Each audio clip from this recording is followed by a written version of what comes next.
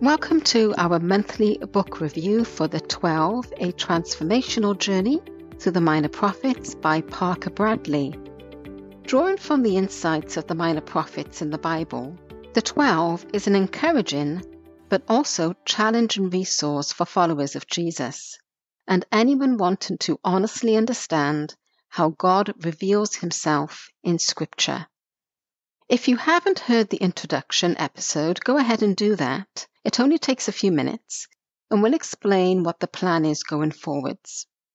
We covered the chapter on Nahum last month and are covering the chapter on Habakkuk in this episode, or Habakkuk, depending on how you say it.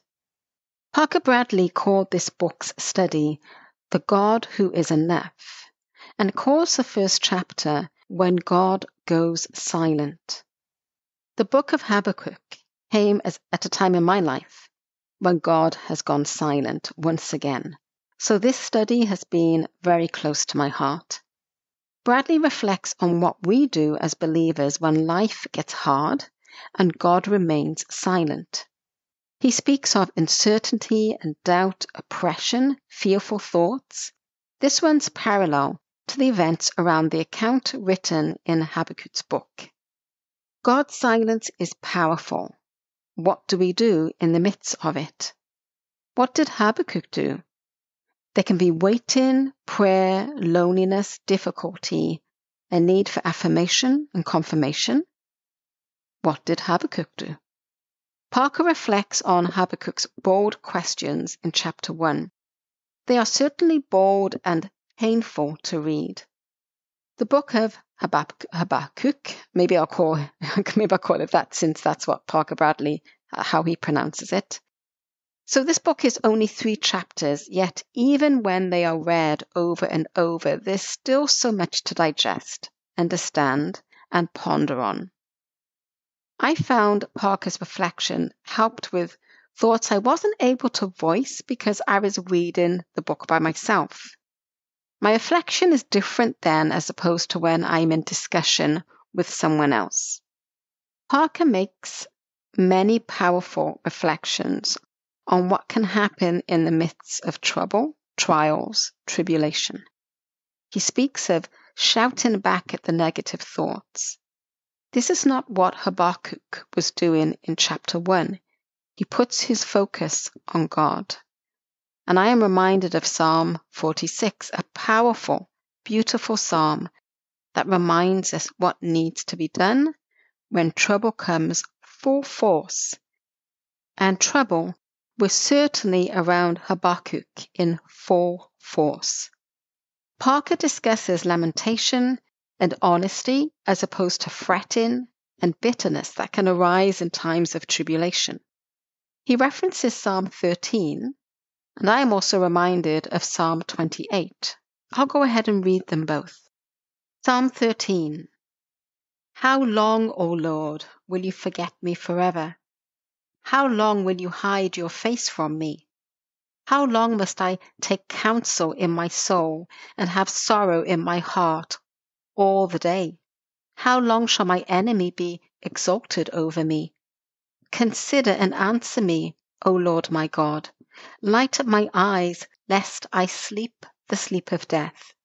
Lest my enemy say, I have prevailed over him, lest my foes rejoice because I am shaken. But I have trusted in your steadfast love. My heart shall rejoice in your salvation. I will sing to the Lord because he has dealt bountifully with me. I might have said the second psalm I was going to read is Psalm 28, but it's actually Psalm 27. And I will go ahead and read that now. Psalm 27 says, The Lord is my light and my salvation. Whom shall I fear? The Lord is the stronghold of my life. Of whom shall I be afraid?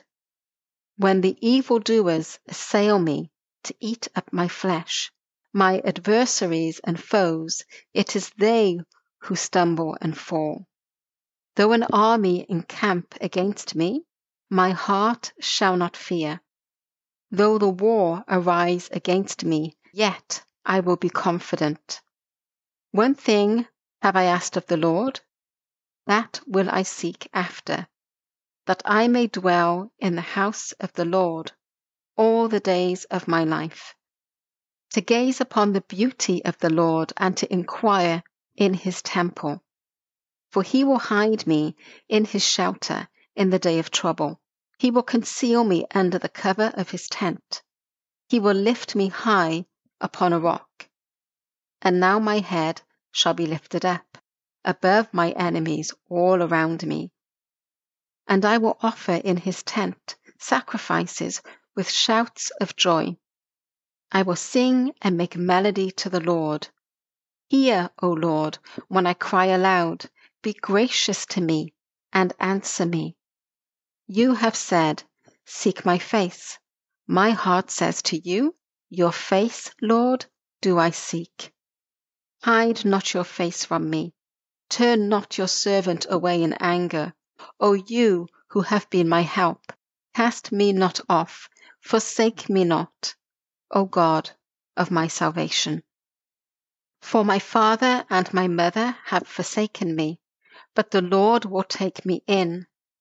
Teach me your way, O Lord, and lead me on a level path because of my enemies.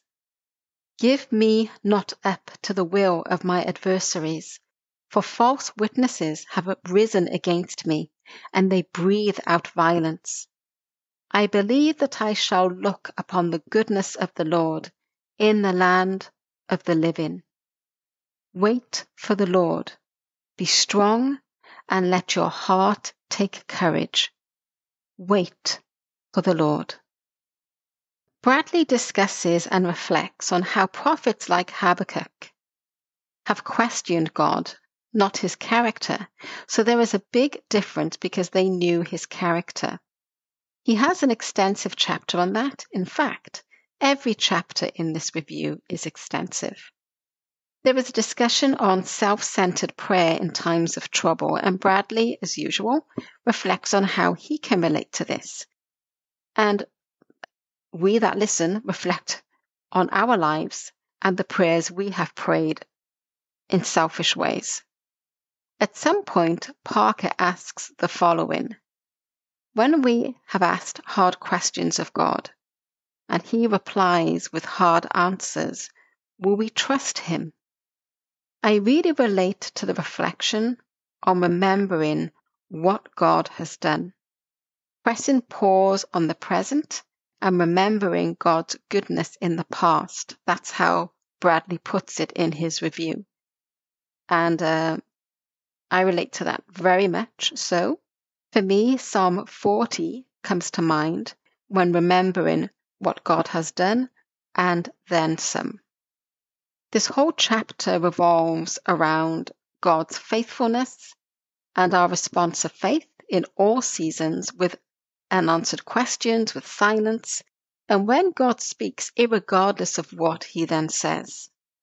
This is a painful and yet beautiful soul searching reflection, just like Habakkuk is painful and yet beautiful to read and experience because it speaks to us. Bradley references a lot of scripture. Job 23 8 through 10 is another one that speaks of being refined and emerging as gold. Parkley gives a clear review that does not encourage light poetic thinking. That's reserved for the sunny seasons and the superficial faith. Habakkuk is truly about true faith in all seasons, not to be lightened or taken lightly. It's something to aspire to, the faith of Jesus in the making. Parkley reflects on what faith is, who the righteous are, on what that all looks like in practice. And this is not, these are not Parker's words of wisdom. It's a reflection of what is written in the book of Habakkuk. My thought of God have mercy was reflected on as it also appears in Habakkuk 3 2. In wrath, remember mercy. An in depth reflection that drew out what asking the Lord to have mercy can mean when we have deep faith. There is so much more, so I encourage you to listen. To this uh, chapter on Habakkuk in um, Parker Bradley's audiobook, it really wraps everything up in our need for God through Christ. There is a scene in a film called Good Will Hunting when a counselor tells a young man that the abuse of his alcoholic father was not his fault, and the young man answers, I know, too quickly. The counselor repeats the statement, and the young man answers again, I know. The counselor continues to repeat the statement until the overwhelming truth of what is being said dawns on the young man. Then and only then does he truly hear and process what is being said. Then he reacts very differently. This scene reminds me of the times we hear of our need of God through faith in Jesus Christ. The just shall live by faith. We can reply all too quickly when that statement is made during hard seasons because we have focused to one degree or another on dealing with the pain. Habakkuk is that statement repeated over and over. Parker references Habakkuk 2:4 and Galatians 2:15 and 16 and also chapter 3:11 to show that this statement has repeated itself through the prophets, to the apostles, to the ears of each believer in Jesus Christ. And each believer in Jesus Christ that reads this message must truly listen. Then they will react accordingly no matter the season. Amen. Parker Bradley's discussion on Habakkuk is extensive, encouraging, and a wonderful attempt to reflect the depth of the message. Thank you for listening to this review. Until next time, peace be with you.